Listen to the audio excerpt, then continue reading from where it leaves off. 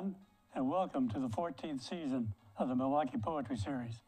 Thank you all for watching this whenever you are able to see it. We are really excited about the season, and this particular reading has been a long time in coming. Our season goes tonight through July, and we're going to have six readings. The first three readings, starting with John's tonight, are the three readings that we needed to cancel last spring, April, May, and June, when the pandemic hit. So we were able to reschedule them, and we're starting it tonight, even though this is a virtual reading. So this is a this is our first virtual reading, and it's something that we're really excited about. There is a flyer of the poster. And It is something that's available on the email invitation that went out, and also for, from the Ledding Library. Or what you can do is put something on the chat, and you can indicate if you would like to have it sent to you by putting your email on it and your name. So we will be able to get them out to people who want them. It's been a difficult time, and we hope that you are all safe and well. Before I introduce John, let me say some thanks. The first thanks to the city of Milwaukie for their support for the Milwaukie Poetry Series. Secondly, for the Ledding Library, because we have been a committee of the Ledding Library really since the beginning. And the Ledding Library has been very supportive, and we appreciate it. Finally, thirdly, is the Milwaukie Poetry Series Committee, which is active and supportive. And as I've said many times, I think many maybe have, have heard me, that you don't have something happen unless you have a group of people working on it. And finally, we want to thank Willamette Falls Media. Uh, we are here in the studio recording this. John is going to be reading from home, but we are here. And a big thanks to Willamette Falls Media for everything that they have done to make this possible. And now, to introduce our reader tonight, which we're very happy to have him here, John Sibley Williams is the author of As One Fire Consumes Another winner of the Horizon Poetry Prize 2019. Skin's Memory, winner of the Backwaters Prize, University of Nebraska Press 2019. A 23 time Pushcart nominee, John is the winner of numerous awards, including the Wabash Prize for Poetry, the Philip Booth Award, the Phyllis Smart Young Prize, and Laux Millar Prize.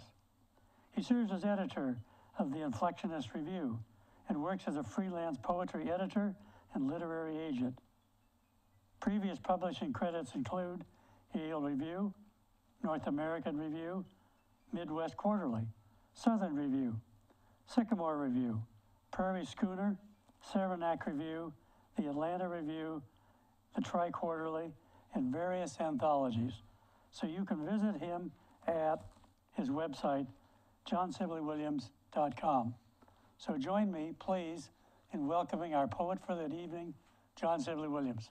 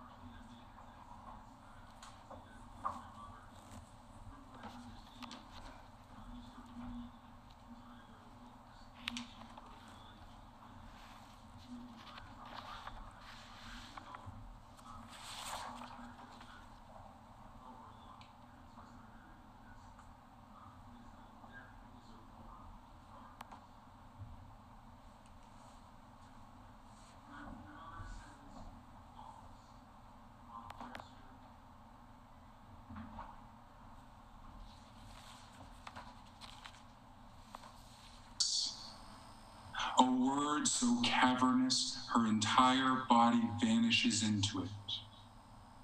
Body of misfiring electrons, scattered images, no contexts. Body that is mainly just a body now. No other animal knows how to be this incomplete. I think if you were a fox, coyotes would have eaten you by now. But I say, yes, Mom, I'll climb into that box and let you pull me through the high grass one more time. so, um, so uh, I, I, think I'm going to start the reading um, with some uh, uh, poems from this little book here, Skin Memory, uh, which came out in 2019 uh, through the University of Nebraska Press, won their, uh, their prize. And I'm going to start with a few of these. Um, in this first one, I live in Oregon the past 12 or so years, but I'm from the East Coast. So back as a kid, the West, the mythic West was this, you know, just this, this big, impossible, mythical thing. Um, and this poem is called It Was a Golden Age of Monsters. The sickle moon bobs like a, a child's paper boat between silhouettes of paper mountains. I am watching steam swell off a herd of bison in a black and white book about the American West. Too young to read much into what I'm reading. The world is all image, unfinished rail track in Douglas fir, level saw cuts, rings tracing back to the beginning. The dozen spears projecting from a felled paper beast are replaced the next chapter by rifles in iron in that same kind of fall. Tomorrow it will snow, and my father will drive me down to the hospital again. Snowflakes crazing about our headlights. Paper moon up there between the mountains. I will be thinking about bison, blood on the page, not the pillow. The road that curls home always seems to erase itself, and the steam coming off it, frail as breath.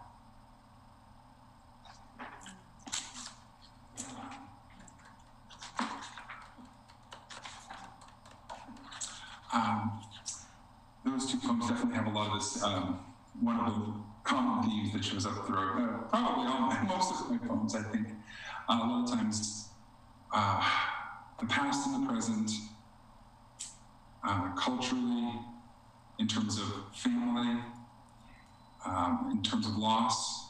Um, and this next poem, similar but a little different, another one of my more common themes, I think, is the idea of casting a certain eye, a judgmental eye, but also an understanding eye on the past, being honest about where we come from. Uh, and this poem is called Symptoms of Shelter. And naturally, as a white, cisgendered, able bodied male, um, you could say I know a lot about growing up privileged and with shelter. So this poem is called Symptoms of Shelter. If I could reconcile the fullness of the moon, of the black oak tonight's moon illuminates, with the bodies I've seen in photographs hanging from an oak at night in just this light. There are only so many perfect moments allowed us. Why must they all end with the sky constricting, bleeding, the trees emptying of birds? Buckshot in the distance, dog bark, and good night. Everywhere the dead and nothing to be done. This familiar field now going strange. How lucky I have been to love and love this blindly.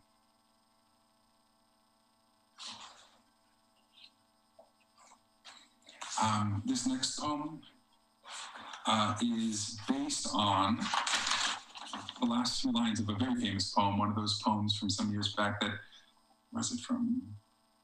Yeah, from oh my gosh, he wrote it in 1979. It's a Mark Strand poem called "Keeping Things Whole." It's one of those poems 20 some odd years ago that that I read, and it really it changed what I thought literature could be and helped introduce me to poetry.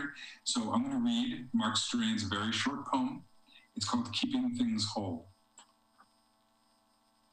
In a field, I am the absence of field. This is always the case. Wherever I am, I am what is missing. When I walk, I part the air, and always the air moves in to fill the spaces where my body has been. We all have reasons for moving. I move to keep things whole. Uh, thank you, Mark Strand. And those last lines we all have reasons for moving. I move to keep things whole. That really is what this poem is about, and you'll see the last lines of this poem are in reference to that. there is still something thin to swing from madly over the glory faded cottonwood. A different kind of rope and knot, sure, and a different purpose. But our limbs haven't changed much, all ascent and greed. The sky yielding just enough of itself to urge us higher. They say there's nothing left to worship, and I'd agree, if not for the dust kicked up every slow, steady swipe we take at eraser. What our grandfathers said their fathers did. The haunted house of our bodies, creaking open, almost forgiven. Lately, the dead calm of a summer by the lake, where someone told me someone once hung a child for loving another child, has lost its grace. What we say to the fire in our lungs doesn't change. It's the same tree. I'd assume we throw the same shadow, long and dark, over its grasses and stone. We all have reasons, Mark. I hope I am swinging to remember. And thank you, Mark. And uh, I think I'm going to read, yeah, just one more thing from this particular book. So, um, partway through here, there is a multi section, uh, kind of a longish poem called Dear Nowhere. Um, so each very brief section is a different location. So there's a Butte, Montana, somewhere in North Texas, uh, along the Inside Passage in Alaska, uh, Ames, Iowa. So a bunch of places either that I've been to or places I'm, I'm doing some cross country driving in the past, things like that. Um, so I'm just going to read, I think, probably three or so sections from this. The first one is Cheyenne, Wyoming. Boy on the threshold of song. Boy swallowed up by a flannel two sizes too large in a mountain of dust from cars returning east.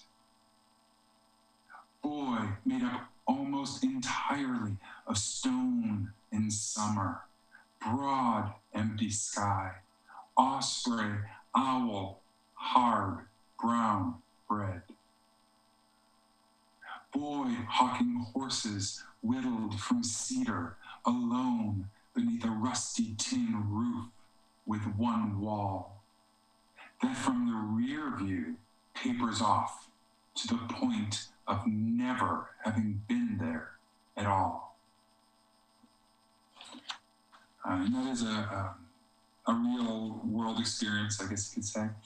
And for me, part of it is how important it is as, as human beings, but especially as creators, um, that we really have to take in our surroundings and really appreciate everyone and everything around us. And that I'm sure this happens to every single one of us, that you're driving down the road and there's someone on the side of the road selling something. And just that brief moment, you just drive right by them. And in that brief moment, I saw this young boy in the rear view mirror while I was going back to my safe, my, you know, my safe, privileged suburban home. And I drive by him and I catch him in the rear view. And for that split second of seeing him in that rear view, suddenly he's a part of my life from that brief moment. And I wrote this poem about that. And I think it's very easy to take for granted everyone that we pass by on the street, but every single one has a poem in them, even if they don't know it. Uh, this next poem, or section, Duluth, Minnesota. Pipe smoke and thin strips of flypaper, citronella, red swollen skin.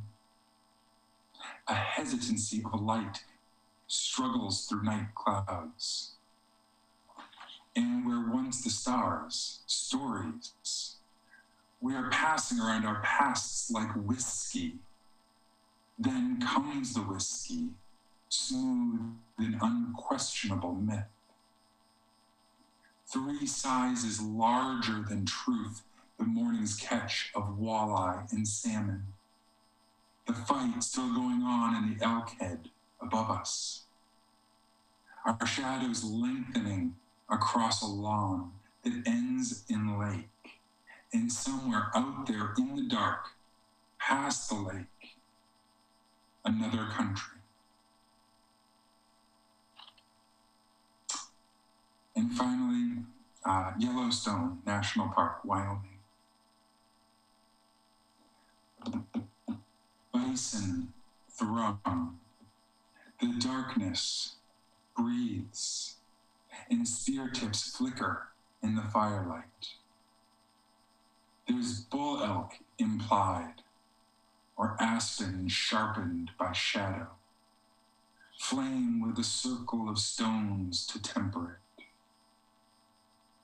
the disembodied words of Whitman in Cormorant returning. On the wind, my mother before I knew her, or just after. Vaguely, in the distance, waters fall and waters crash.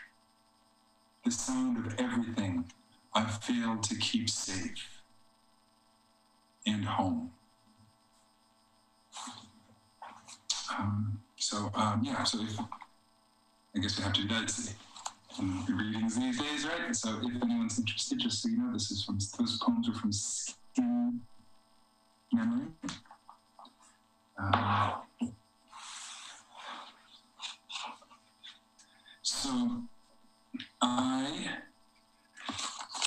have been lucky enough. Um, I don't know what's going on this week. Um, just I had two brand new manuscripts uh, that I just started submitting in November. And four or so days ago, uh, I got note that it that one manuscript, The Drowning House, um, had won the Elixir Press Poetry Award. So, uh, new book, yay! Thank you. Um, and then a few days later, yesterday, I got a call from the uh, Cider Press Review saying that my other manuscript, Scale Model of a Country at Dawn, won their book award. So I think I'm going to have two new books coming out in next uh, around the same time, probably. I think around you know December, January or so. Um, so I've never read almost any of these poems before. So unlike the last poems where I could close my eyes and read most of them from memory, uh, I cannot do that here. But I'm excited. I'm excited to read this. Um, so I'm going to read some poems from The Drowning House. This first poem is called Counterglow. Consider the meteorite 110,000 pounds of debris that hollowed out Wolf Creek crater. How Oppenheimer's boldest nightmares couldn't concoct the kind of ruin that vanishes a sky for years. How anything can become a tourist attraction Consider what we do to ourselves when the one person we love renounces our touch. Consider angels, my grandmother used to say, and how you never know which saves and which consumes us. Whatever you believe, how it all comes down to flame. There's too much written about the end. Pale horses and rogue nukes and the smaller gods of reserve and lukewarm bath water. When I consider each meal is someone's last, am I meant to lose my appetite or keep dragging my fork over this empty plate, never sated? Consider how we become our own conclusion, how what we've hung out to dry remains crucified, how believing these things beautiful might not make them so. Consider how rivers multiply into oceans. A few misplaced words, and now the bombs have their wings. And so much goddamn waiting, as if we have to imagine what nooses do to necks. Consider what's been redacted from life to make all this anguish seem in art.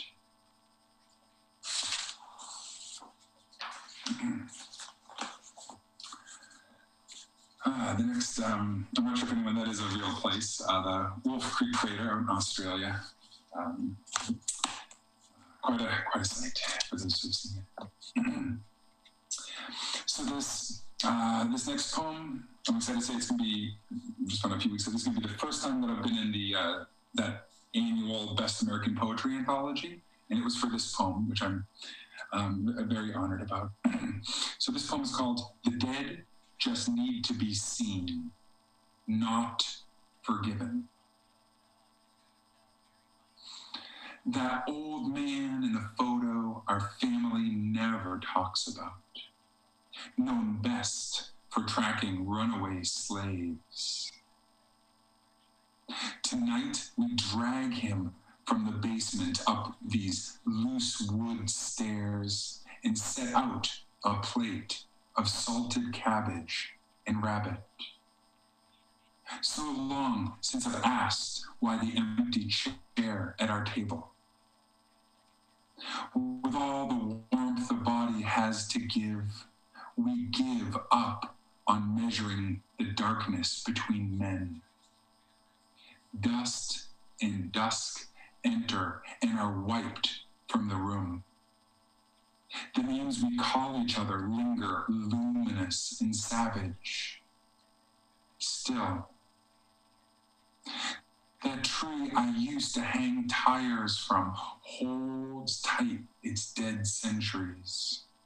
The light swinging from its branches we call rope like, which implies there's no longer rope. Tonight, we'll wash the burnt out stars from his hair, all the crumbs from his beard the misfired bullet of his voice we let burn as it must.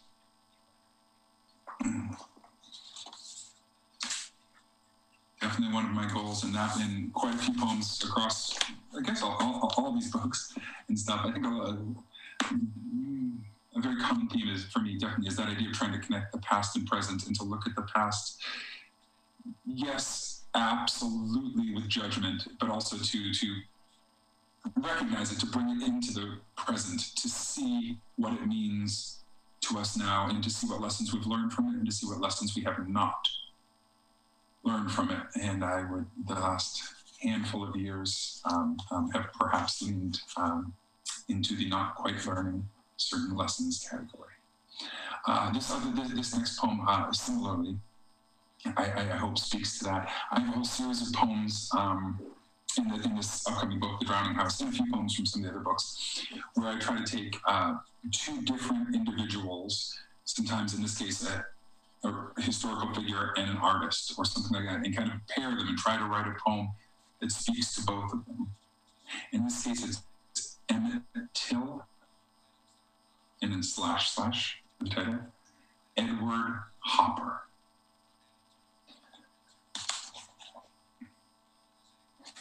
In your mouth, a thousand unpainted churches, steeples snapped off like baby teeth in an apple, rusted bells trying so hard to ring, ringing. Crows along your restless edges, where clapboard meets sky and storm the sky is always storming. Skin can be its own broken republic. Everywhere, overgrown rail tracks and a few white people who don't know what to say to each other. Not anymore. Truth is married to the surface of things. The surface is a lighthouse overlooking wreck after wreck. No ships here anymore. Nothing left to cradle and swing safely into harbor. All sorts of things swing. All sorts of women sit on the knife's edge of a bed, half naked, staring out a half naked window. All sorts of men are tossed over bridges after whistling a little tune. Come back, crows, bells, edges. In you, let the night see its face.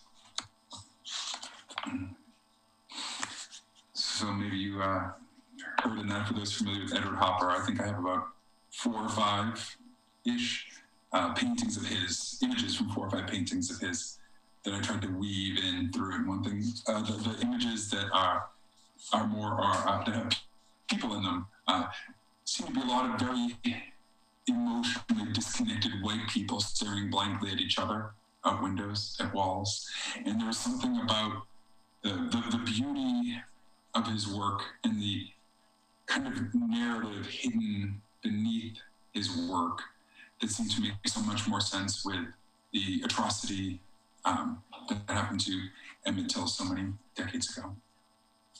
Um, so this next poem, this is a, this is a long title. Harps, and this is just the title is actually a line from a poetry book called Ghosts of, which came out from Omnidawn Press, great press, a couple years back. Um, and it's uh, Diana uh, Nguyen. Um, the poem is called Future Self. So that's just the, the title is from that. I just love this line. Harps strung with gut still make music after 2,000 years.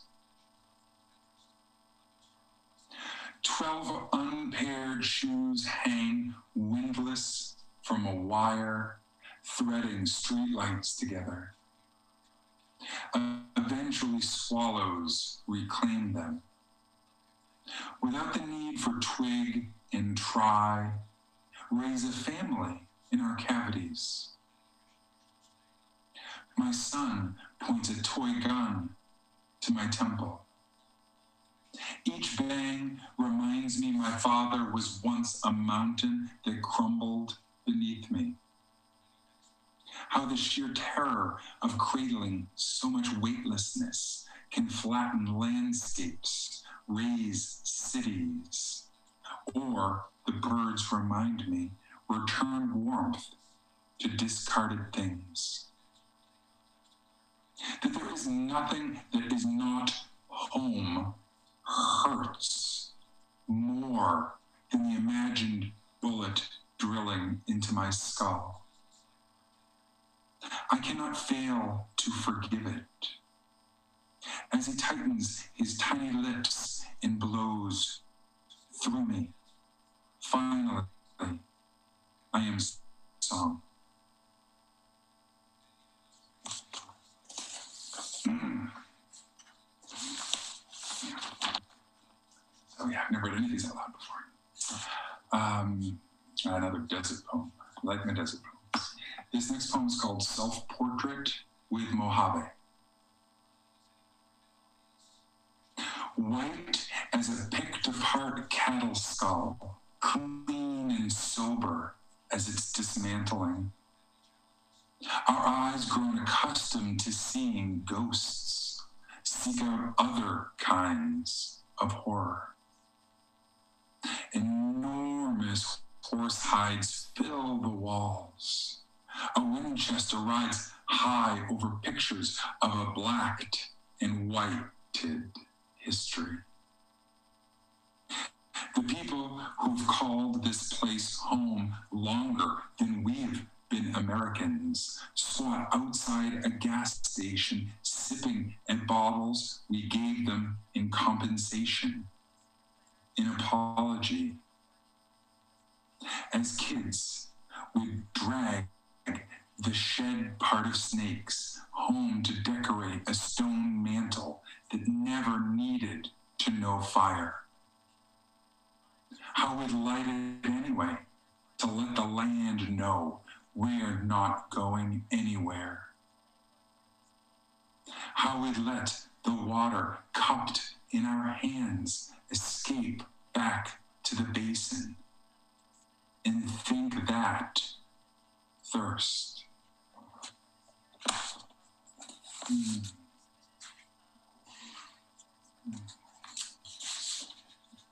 Okay.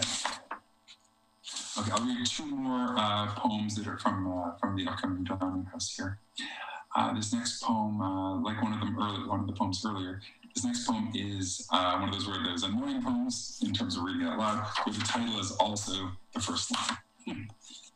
So, everything here is beautiful and full of thrum. You can tell by how far a lie must travel down string into paper cup to reach the ear as true. How we recognize a starling best when its song is absent. How everything that comes to rest eventually comes to rest in precisely the right place. A boy buried beneath the rubble of a blown up building can tell you the sky, suffocated and leaden, leading nowhere, has hoarded all its light up just for him. A gut shot doe will drag its limp limbs miles to a particular opinion's shade. Maybe everything is just too damn close. From very far away, how the massive mountains shadowing the town and the town and our bodies equally slight.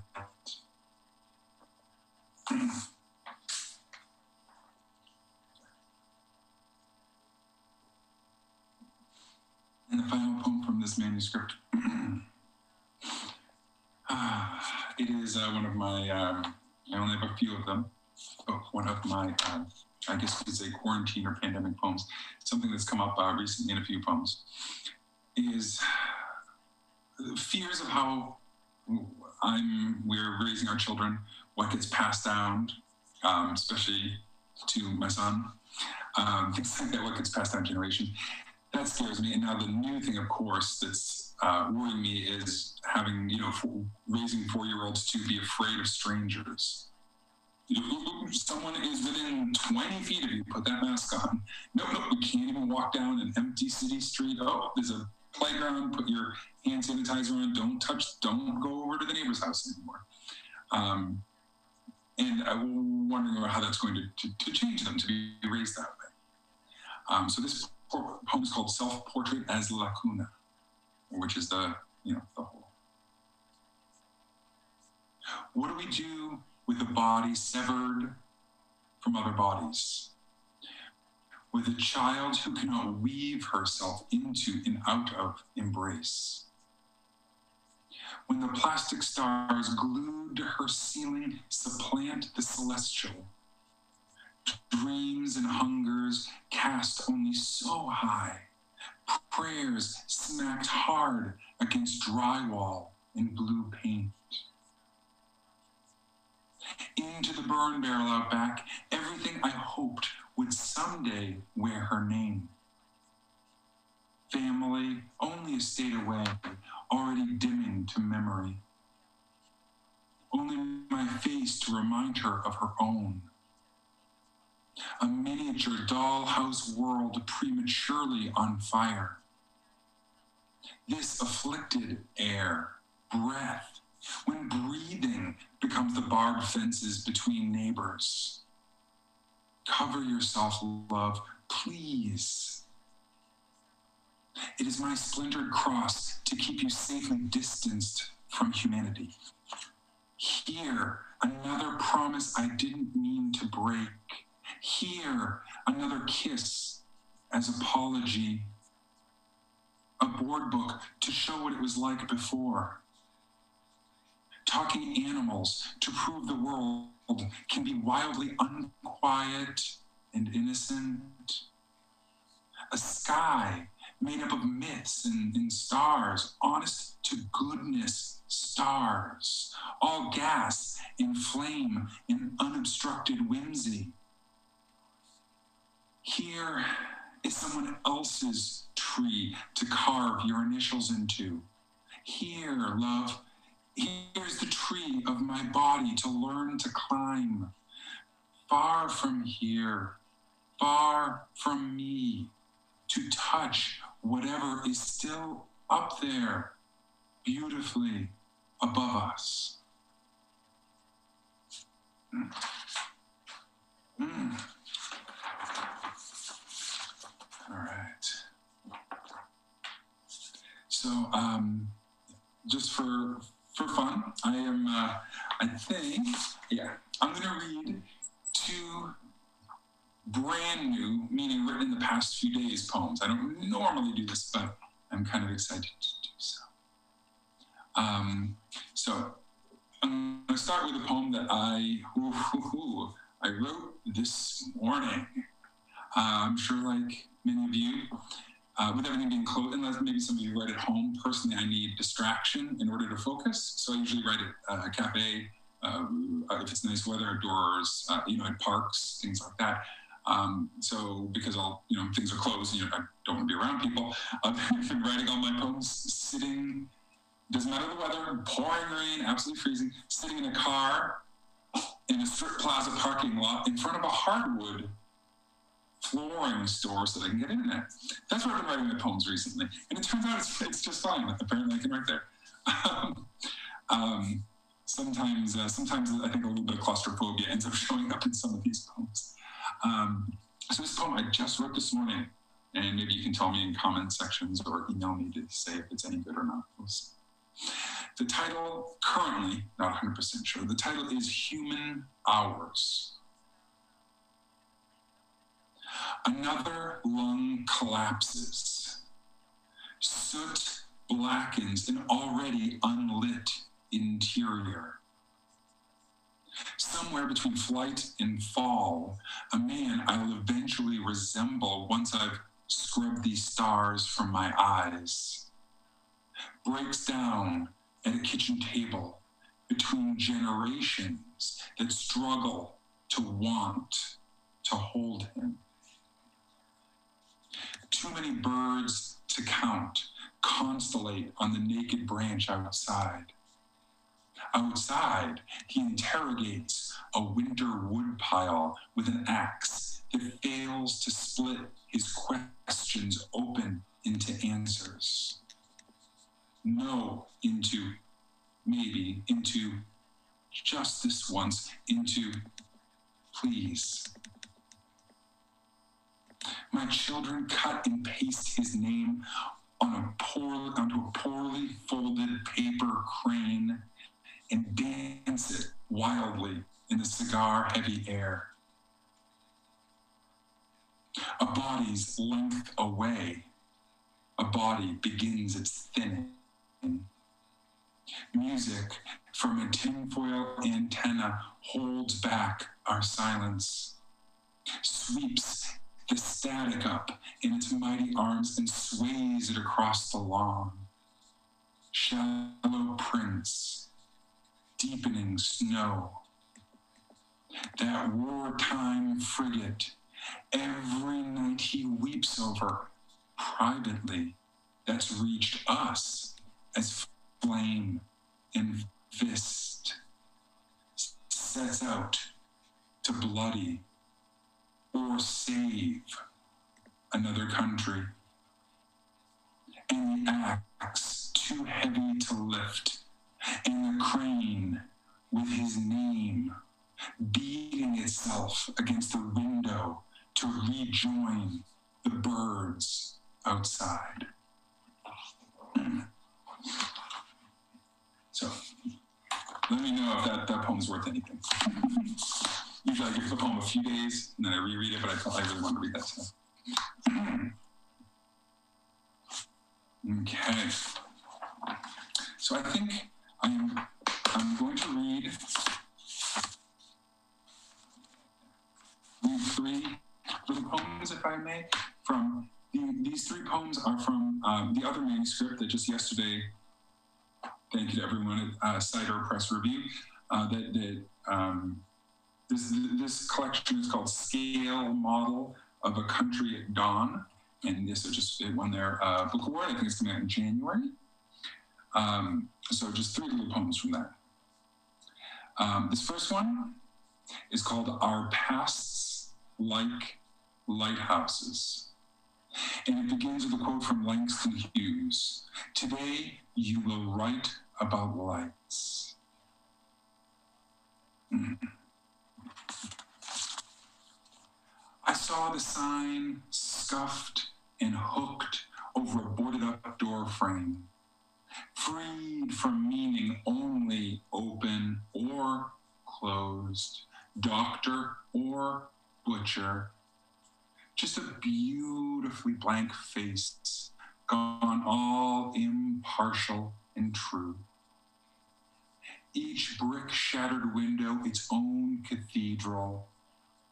I, finally, with history holstered, the barrel but lukewarm, the fossils of fallen stars have a chance to shine again, to be dusted off into dust our future ancestors. My daughter, for example, how little her skin resembles mine. How if this were 1944, she and her brother would be displaced in Minidoka or Manzanar or Harmony. Harmony how she loves to say that word without the weight of context. How, like a lighthouse, she scans every goddamn corner of her safe little sea in search of some wreck to save, to guide back into harbor. Today, it's my heart. Love, thank you for that. And for this rotted old wooden sign briefly we will leave our names on. Um, if you're not familiar with uh, Minidoka, uh, Manzanar and Harmony, those were intern, Japanese internment camps um, during World War II because my, cause my uh, children's uh, um, half heritage. Um, and that's been showing up quite a bit, actually, for one reason or another in my newer poems. Uh, all right, so this next poem from the upcoming collection, uh, this poem is called Imprint. Uh, it begins with a Kate Chopin um, quote, which is There are some people who leave impressions not so lasting as the imprint of an oar upon water. What a beautiful. For, for example, breath.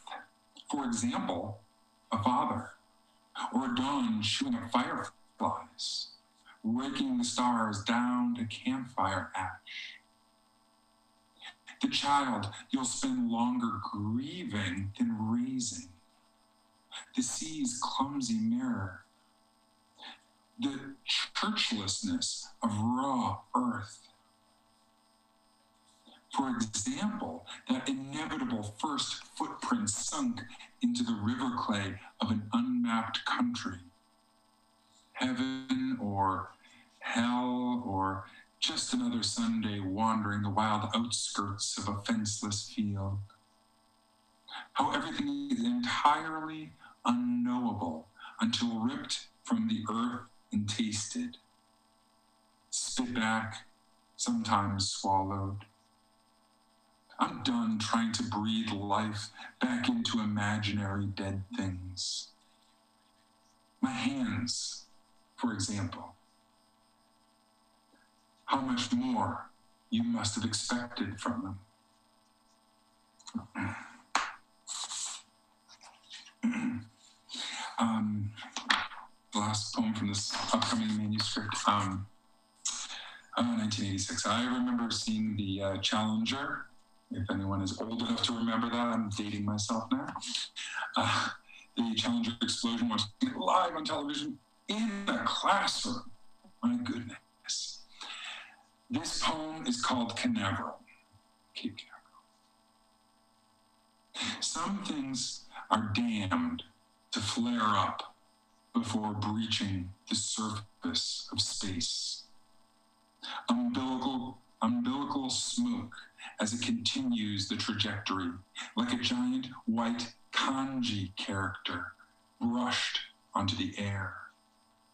Like a parasite projected from its microscopic plate against the heavens. One after another mother covering her child's wet and widening eyes. Tendrils of doubt, notes jotted into the margins of how the world really works.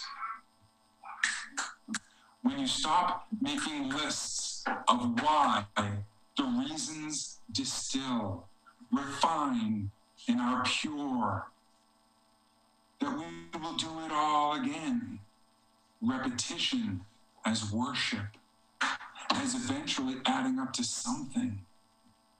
Above this one is another sky shot full of holes. Hmm. So I haven't read the vast majority of those poems out loud before. I hope I did okay job. And if you saw me something going, I, I, uh, my children just suddenly walked in the door like, Dad, Dad. So I apologize. Um, yeah, time wise, I think there's only uh, just a few more minutes. So I'm going to read just a, a few quick poems, um, if I may, from. Can you see it? As One Fire Consumes Another, which also came out in 2019. Um, and, and, I'm honored to uh, say won the uh, Orison Poetry Prize. Beautiful uh, Orison uh, Books is a, an amazing publisher. Um, so read a couple quick poems from here. Uh, this first poem is called Pinata, and again, in some ways, deals with masculinity, fears of masculinity, and things passing down. So, the pinata. Body broken into, all the sweetness torn out Brightly dyed paper flakes linger in the grass as if someone has sanded down the sun. The husk of an animal hangs loosely from a sky clouding over in storm. Tomorrow, he will be a man. Until then, sticks are just sticks, thrashing the insides out of some martyred paper beast it's just play. Lollipop, marzipan, tamarind. Fire works its way up the arm, into bottle rocket, into bang. The sky glimmers and is gone. And whatever the boys can carry home between their teeth will be theirs.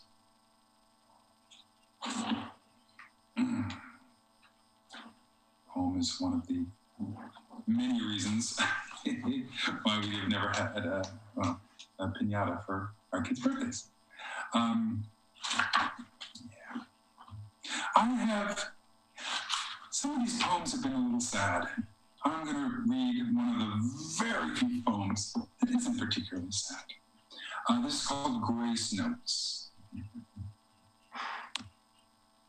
We are driving west with the sun swaddled in storm cloud and all that pristine nothingness that is Kansas flattening behind us. I've learned there are ways to sing along to radio silence, though I'm less convinced these days anyone is listening. How quickly winter empties our voices of their animals. Windows down and the gray horizon suddenly too small to carry inside us. You are the worst kind of lover, highway, landlocked between fled and imagined homes. As our headlights, like slowly falling fires, kick out into the afternoon rain, and the kids from the back seat start naming everything that blurs by us birds. And suddenly, birds again, we begin making Motown of the dead air. I have no idea what I promised them about tomorrow. But the sky is devastating as whirling white asters.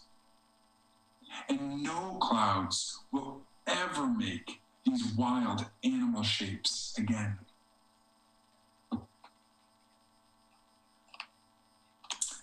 Um, yeah, I, uh, I think, uh, okay. I guess, yeah, it's maybe two, three more poems, if I may uh, indulge. So this next poem um, is uh, kind of playing with, um, in some ways, uh, so uh, with my children, uh, in some ways playing with the gender norms, which is interesting because my children uh, are very much the polar opposite of the traditional or stereotypical gender roles. Um, this poem is called Sovereignty. 200 green plastic army men circle around a tea set. All the matchbox cars are up on blocks in the yard. While my daughter's dolls wage wars on the flamingos basking in a flagpole's swollen shadow, the mower is making birdshot of each dandelion head. For once, summer is what it seems a trick of the light, a mistranslation, a castle of air. And all fathers are invented gods. And now I am a father inventing a world where matchstick sailboats can set the entire ocean ablaze. My children take turns pulling me around our safe green box of earth in a red wooden wagon. It doesn't take much to convince the sky that we have no idea how to hold it. Hmm. Um, you know what? I'm not going to do, I'm going to do a, yeah, I don't know if it's a half the poem, but something like that. Playing with the, the gender again. This poem is called Understudies. In our parents' bedroom, exchanging overalls for ties, bras. I am playing mother again, and Tyler, for those 10 minutes between breakfast and church, you can be dad's hard, open palm. Both your feet drown in his shiny black Sunday shoes. It takes time for the world to whiten around the temples, to scar. You are trying and failing to find something awful enough to pray away. stuffing your big boy pockets with miracles that sound like stopped watches. Now hold me, how they say they held each other once. Tell me how pretty I was when your arms first danced my waist around a crowded Elks Lodge to a song that ended in two sons and a need to atone. And I will show you how to be forgiven without asking the sky, how to love without using your mouth. I'm not sure if that's a or not. I can't tell. Um, so um, I just I'm gonna just one more poem um, before. Oh, some banging going on back there. I apologize. Uh, kids are building something. I don't know. Um, so thank you uh, again. I want to say to to Tom for the invitation. I'm sorry I didn't get to see you in person. It is a shame. You are a, a great supporter of our local poetry community and, uh, and to Joshua for the for everything tech stuff, and to the Ledding Library, my library. I live in Milwaukie. I can't wait to be back and see you once the disease is started. So thank you so much. I'm just going to read one more quick poem, uh, and I guess to do the uh, commercially stuff because I want to just end on the poem and that's it. Um, if you're interested at all, I think Tom had mentioned it, but just my website is johnsibleywilliams.com. Easy enough. Also book stuff is there, news, that newsletter, all that kind of stuff. Uh, if you're interested, you know, Powell's books or, or Barnes and Noble or I don't know, whatever you do, all the local bookstores here, but Amazon, Target, whatever you do, prefer not Amazon or Target, but it is what it is. um, if you're ever interested in those, let me know. If you want a signed copy, I'll just shoot me an email. My email's on the website. Um, and, and, and that'd be lovely. Um, so I don't get to see any of you, your faces. It feels very odd just reading to myself in a room. Ah, this, so this next, uh, or final poem, I should say, I, this is a poem that I end all my readings on. I probably always will. Uh, this poem is called The Crossing. Uh, I really thought this wasn't going to be an issue anymore after I read this book, but the last number of years taught me otherwise. The Crossing. Tell me, tell me what not to do with heaven-faced children torn between parents who are torn apart by a river, tearing a long muddy scar into this long and lengthening landscape. Then tell me again why we are the only animals bound by maps, shifting allegiances. Tell me what not to forgive of the stars, what color skin my skin is forbidden to touch, what heart my heart cannot possibly hold without breaking. Don't tell me the best way to break a body without damaging its shell. We all know how that story ends. Ask the bridled horses.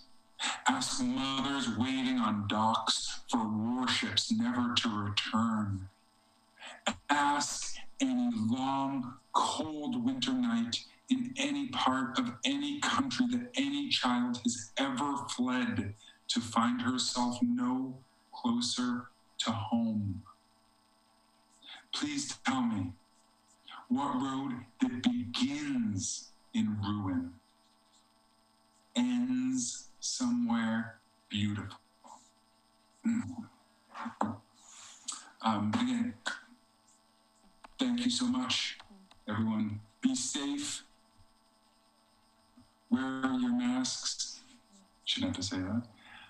And love each other. John, thank you so much for the terrific reading. We really appreciate it. And congratulations. One thing to say to you, congratulations on the prizes for the Drowning House and Scale Model. And congratulations for your inclusion in the anthology. That was just a terrific reading, and it really came across to us. So we appreciate it. Thank you, everybody, for watching, and we will be here with the reading on the second Wednesday of March. Until then, thanks for watching. Whenever you see this uh, reading, and we'll see you then. Good night, everybody.